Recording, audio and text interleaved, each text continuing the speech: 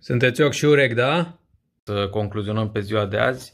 Bosonul uh, Higgs este o particulă elementară din familia bosonilor, care face parte din mecanismul de rupere a simetriei, ce conferă masă celorlalte particule elementare. Sper că ați fost atenți cu toții, chiar dacă unii dintre voi aveți camerele oprite.